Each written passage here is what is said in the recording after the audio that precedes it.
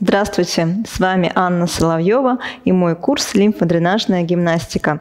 Этот курс является логичным продолжением и наряду с другими моими курсами, в которых мы занимались миофасциальным релизом, исправлением осанки в грудном отделе, говорили про сутулость и гиперлордоз в поясничном отделе, этот курс будет добавкой и отличным подспорьем к совершенствованию вашего тела. И в этом уроке мы поговорим о теории. Ведь очень много мифов касательно касательно лимфодренажа. И в социальных сетях вы часто можете встретить, что достаточно просто попрыгать утром, сделать 100 прыжков или же лечь на спину и потрясти руками и ногами, и у вас будет лимфа работать отлично, так как она должна быть. Но этих движений, безусловно, недостаточно. Почему? Потому что лимфатическая система, она находится в комплексе с иммунной системой и сердечно-сосудистой системами организма. В качестве фактора детоксикации она занимается именно дренажом. То есть лимфа отводит продукты обмена от тканей, она помогает в борьбе с вирусами, бактериями и является таким образом некоторым коллектором, через который собирается все застойные явления и переводится в венозное русло. Поэтому для работы хорошей лимфатической системы нужна хорошая работа сосудов и сердечно-сосудистой системы в целом. Лимфатическая система формирует защитную функцию организма, и она обезвреживает попадающие в организм вирусы, бактерии, а также какие-то клетки, которые неправильно делятся, какие-то опухолевые клетки или же поврежденные частицы, и уносит стоком сосудов, лимфатических сосудов. Но так как лимфа не имеет своего насоса, как сердечно-сосудистая система, то она течет снизу вверх в коллекторы только благодаря действию мышечных сокращений. То есть за счет мышечных сокращений происходит движение тока лимфы. И сейчас мы затронем тему принцип работы лимфатических сосудов. Все сосуды у нас имеют некоторые клапана, и кровь передвигается снизу вверх, и клапан закрывается, на следующем участке снова открывается верхний клапан, мышца проталкивает выше, снова клапан закрывается. И таким образом с нижних конечностей лимфа попадает в подколенные коллекторы, из э, области бедер в паховые коллекторы, из области рук в подмышечные и так далее. Есть определенные тесты на застой лимфы. Вообще, нужна ли вам лимфодренажная гимнастика? Если у вас остаются следы от одежды, то есть если на голенях остаются постоянно следы от носков, даже если у них не очень тугая резинка, если у вас остаются следы одежды от брюк, от пояса, от э, бюстгальтеров у женщин, то это ухудшает ток лимфы. И, безусловно, требует работы с лимфатической системой.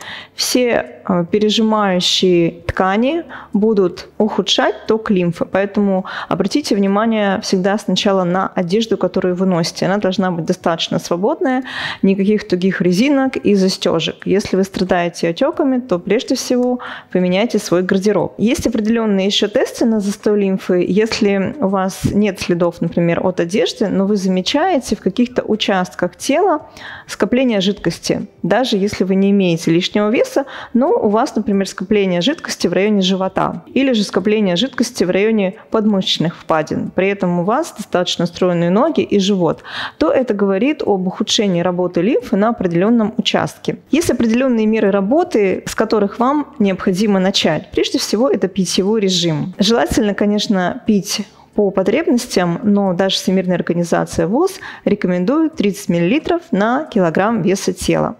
Вода должна быть не только простая, это и минеральная вода. Много позже поговорим о минеральной воде. Если вы избегаете употребления воды, потому что у вас есть отеки, то отеки могут усугубляться, потому что наше тело на 80% состоит из воды, и чем младше вы, тем воды в организме больше, поэтому э, должен быть обязательный приход жидкости, потому что на пищеварительные соки, на э, желчные соки тратится полтора-два литра воды, и воды организму нужно много. Поэтому задерживая воду, организм говорит о том, что вы воду ограничиваете. Следующая мера работы с лимфатической системой – это кишечная проницаемость. Как я уже сказала, что лимфа помогает обезвредить какие-то молекулы, которые попали в кровеносное русло.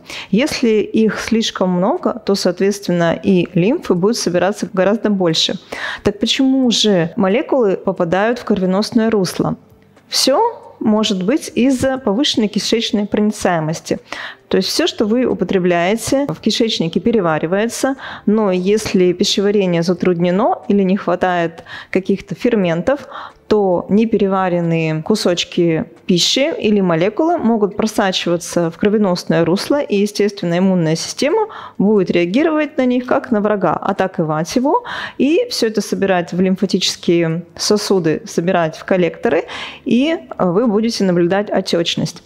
Поэтому первое, еще раз напомню, это достаточное количество потребляемой воды. Второе – это заживление слизистых кишечника. Тогда у вас будет невысокая проницаемость и молекул посторонних, попадающих в кровеносное русло, будет меньше или не будет совсем. И, конечно же, третья мера работы с лимфой – это движение.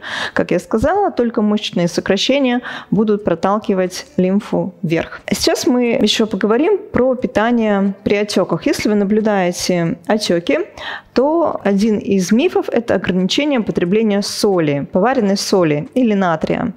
Но это в корне неправильно, потому что любое вещество, которое должно попасть в клетку, она попадает путем взаимодействия между такими минералами, как натрий и калий.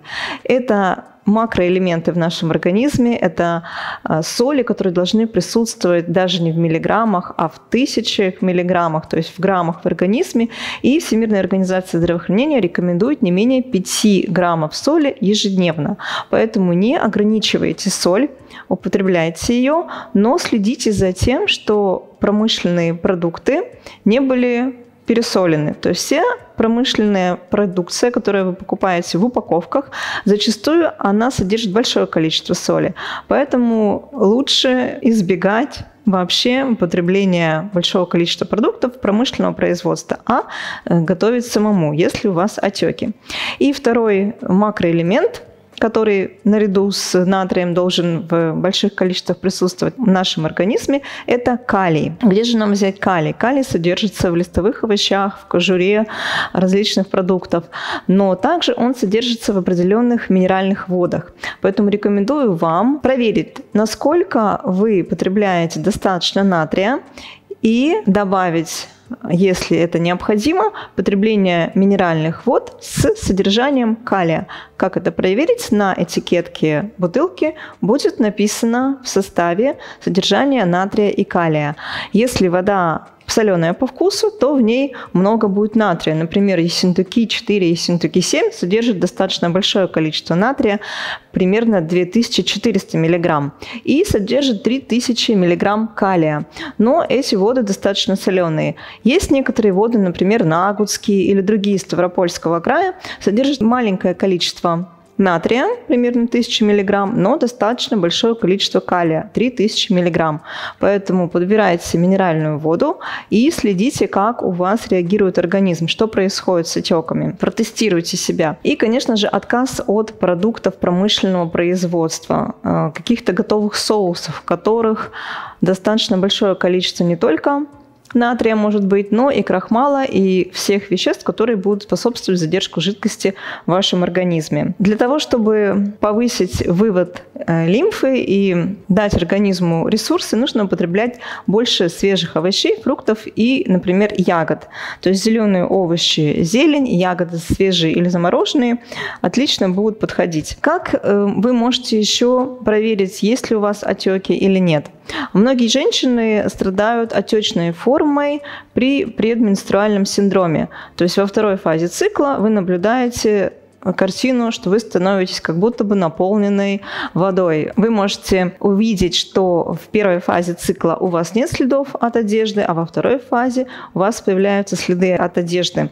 И увеличивается количество жидкости, то есть появляется именно отечная форма. Также, если вы перенесли операцию или какую-то травму, которая вынудила вас находиться в лежачем положении, то лимфодренажная гимнастика вам просто необходима.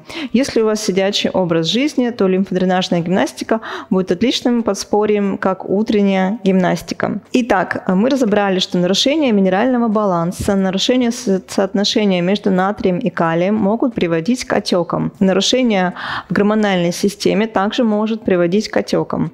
И это провоцирует отеки, которые называются как синдром рыбы, выброшенной на берег.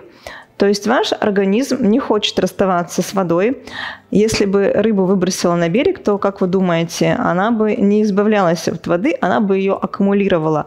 И если в вашем теле есть какое-то воспаление, то есть не совсем здоровое состояние, то ваше тело будет накапливать воду. И, возможно, нужно дать некоторое время организму, чтобы он справился с воспалением, поэтому поддерживать питьевой режим, а после приступить к лимфодренажной гимнастике. Давайте в следующем уроке поговорим о диафрагмах, которые будут влиять на движение лимфы.